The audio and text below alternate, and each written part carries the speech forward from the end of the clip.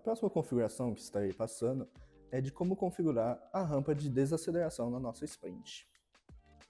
Para configurar a desaceleração, nós vamos pegar nosso jumper e colocar aqui na rampa de desacel, onde está mostrando que está em 3 segundos. Podemos deixar ela em 2 ou mais. Isso influencia na distância onde ela vai começar a fazer a desaceleração no portão. Eu vou estar voltando para a configuração padrão de 3 segundos.